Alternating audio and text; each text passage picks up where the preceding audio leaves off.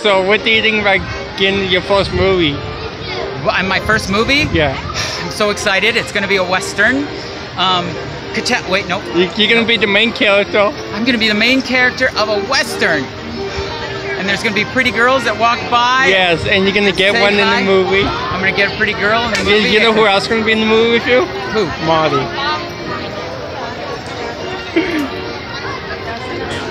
That'll be nice. And she's and she can, she's gonna fall in love with you. Oh, shucks. Oh, and then um, Fourth of July Wednesday. What's your plan for Fourth of July?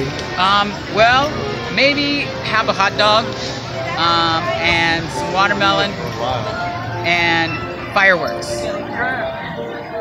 If have you been to Pixar Pier yet? No, everybody's been heading that direction. I'm I'm in. I was here Sunday.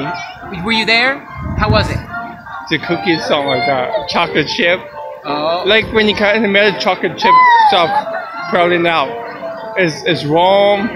The cookie, the chocolate is warm.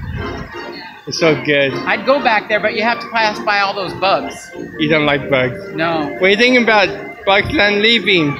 Well, um, I'm kind of sad to see it go, but since I don't like bugs, I'm kind of glad to see the bugs go. Yeah. And what's if what's your favorite uh, attraction here? Um, me and Molly. Thank you.